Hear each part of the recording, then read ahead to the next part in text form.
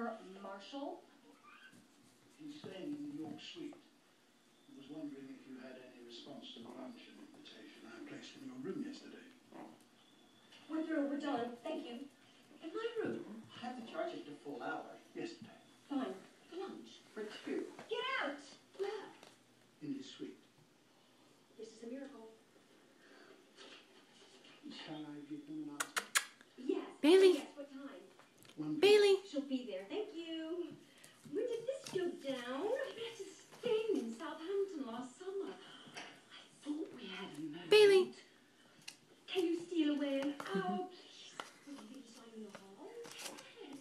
What should I wear? You look at anything. I didn't bring a thing. Well, let's see. Oh, Bailey. oh, Maria. Bailey. I need to tell you that it's urgent. Could you run downstairs and get those outfits you returned from me yesterday?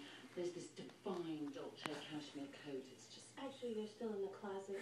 I, I thought you might want a second one. Bailey. You are so good, thank God. What are you should doing? Be a personal assistant. What are you doing? So do they with Hmm. better titles. Actually, I'm up for a position.